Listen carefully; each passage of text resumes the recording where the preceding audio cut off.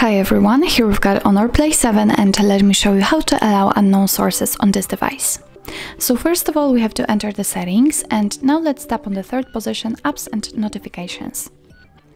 Now let's tap on the special app access and here at the very bottom of the list we've got install unknown apps option so let's enter it.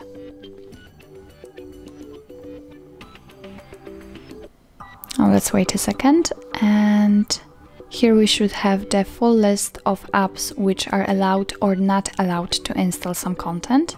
And this is what I said. Here we've got the list of apps and as you can see, uh, I think all of them are not allowed to install anything.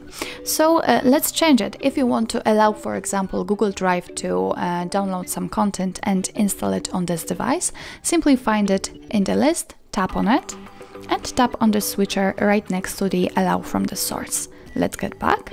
And as you can see it immediately changes. Now it is allowed. So it means that from now on the Google Drive is allowed to install some content.